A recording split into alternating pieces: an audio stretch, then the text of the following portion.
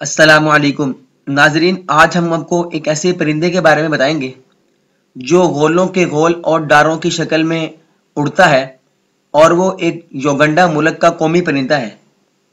कूंच एक साइबेरिया परिंदा है, जो सर्दियों में अपनी अफसाइश के लिए साइबेरिया के यख बस्ता माहौल से हिजरत करके पाकिस्तान आता है। मतलब ये मकामी पंछी नहीं, बल्कि मेहमान पंछी है। जो बाद अजा वापस साइबेरिया लौट जाता है। कूच एक खूबसूरत और शर्मीला परिंदा है। हिजरत के दौरान ही एक जट होकर मुसाफर तय करते हैं और एक कतार में सफ़र करते हैं, जिसको डार कहा जाता है। अगर कोई कूच डार से बिछड़ जाती है तो बैन करती है, आवाज़ें निकालती है और आखिरकार मर जाती है। जब कूच डार से अलग होती है तो उसका मरना तय हो जाता है। कूच के बारे में कहा जाता है कि इसकी यादाश्त कमज़ोर होती है। बाज अवकात अपने बच्चों को भूल जाता है। सराइकी और सिंधी इलाकों में इसे मासूम परिंदा समझा जाता है। सराइकी और सिंधी अदब में इस परिंदे का तस्करा बहुत मिलता है। माही और शायरी में भी कूच का ज़िक्र मिलता है। बे इंतहा शिकार, मौसमी तब्दीलियों और अफजाइश के लिए कमी होती जगह ने इस परिंदा की बका को खतरे हद तक पहुँचा दिया है। अजीब बात यह है कि ये आसमानों पर उड़ते हुए बड़े खूबसूरत लगते हैं। कूच के डारों से भरे आसमान पर इन्हें कितारों में चक्कर काटने का मंजर इंतहाई दिलकश और सेहर अंगेज होता है। इनकी रफ्तार रिधम और अंदाज दिल मोह लेता है। जब हमारे यहाँ कूच का ज़िक्र होगा तो गोया तन्हाई और बिछड़ने का मंजरनामा चारों तरफ़ छा जाता है, क्योंकि हमारी ज़ुबान में कोच इस्तारा है बिछड़ने का। डार से बिछड़ी कोच ऐसे ही मानों में इस्तेमाल किया जाता है। जब तन्हाई और अकेलेपन की शिद्दत को ज़ाहिर करना हो। लेकिन क्या हम जानते हैं कि मौसम सरमा में हज़ारों मील का सफ़र तय करके हमारी आब गाहों पर उतरने वाली कोंचों की ये डारें अब बमुश्किल ही वापस जाती हैं।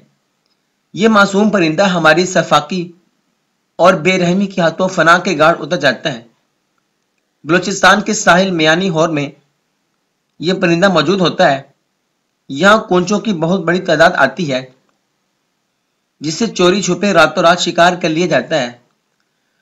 लोग उन्हें ज़िंदा पकड़ने की कोशिश करते हैं, लेकिन इस पकड़ने और इस कोशिश में हर साल 400 से 500 कुंजे मौत के गाड़ उतर जाती हैं।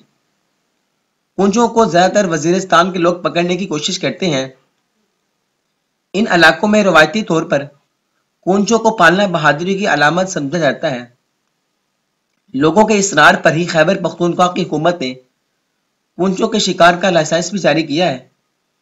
मियानी होर का साइल सुरमाई परिंदों की जन्नत है। माहिरीन ने तयूर का कहना है कि यह परिंदों की इतनी बड़ी तादाद आती है कि जब वो फिजा से ज़मीन पर उतरते हैं तो इनके परों से सूरज की रोशनी छुप जाती है। और सिर्फ़ मयानी हो रही नहीं पाकिस्तान की दीगर आबगाहों और आबी इलाकों पर भी इन मेहमान परिंदों की जोक दर जोक आमद देखी गई है।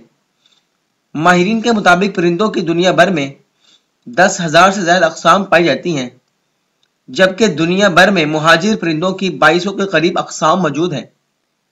पाकिस्तान में परिंदों और ममालिया पर काम, काम करने वाली अवलिन शख्सियत टीजे रॉबर्ट्स के मुताबिक पाकिस्तान में परिंदों की छह सौ अठासठ अकसाम पाई जाती हैं। इंग्लिश में परिंदों की हिजरत माइग्रेशन कहलाती है, जिसका माना तब्दीली के हैं। लेकिन जब यह परिंदों के लिए इस्तेमाल किया जाता है तो इसका माना एक मस्कन से दूसरे मस्कन की तरफ़ जारी तब्दीली होते हैं। तब्दीली की वजह मौसमी अफजाइश, नस्ल के लिए नामुआफिक हालात भी हो सकते हैं और खुराक की कमी भी हो सकती है।